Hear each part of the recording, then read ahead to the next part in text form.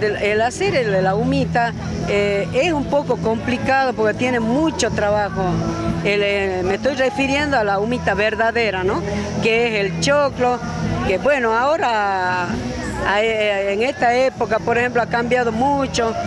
se puede hacer, por ejemplo, en una máquina o rayar un rallador. Antes se hacía en una piedra. Así que imagínense lo que cambió de generación en generación. Pero yo más o menos eh, hago lo que me enseñó mi madre, los, los primeros condimentos, que de la humita es la albahaca, el morrón rojo, y si uno quiere ponerle una cebollita rehogada, que le da color, este, sustancia y, digamos este, firmeza de la, de la humita, ¿no?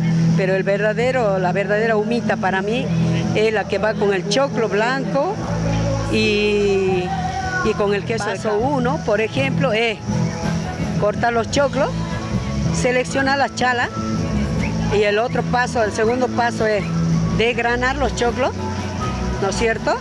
Y prepararlos ya para, para pasarlo a la máquina con el, la albahaca, el morrón rojo, y después el tercer paso es ya prepararle, por ejemplo, con todos los requisitos que necesita lo que es una humita y después por último ya armarlo y ponerlo a cocinar.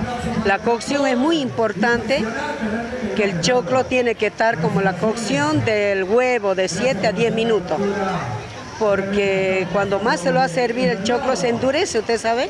Entonces la cocción es más cuando el choclo tiene todo, es el tiempo de cocción, ese sería digamos el, tercer paso. Y después el cuarto, bueno, ya está para disfrutarlo, digamos, ¿no? Con un vaso de vino, ganar este, yo creo que no hay ningún secreto, o sea, es ponerle el amor a cada cosa que a uno le gusta hacer. A mí mi madre me enseñó desde chica en la cocina, porque las madres de antes, eh, lo primero que le enseñaban a los, hijos era aprender a cocinar. Así que calcule que estoy hace 35 años en la cocina y bueno, aprendí de mi madre que que uno de los primeros pasos que me dio en la cocina, aparte que a mí me encanta, yo amo la cocina, este, creo que no hay ningún secreto, es el amor que le pone a todo lo que uno le gusta hacer.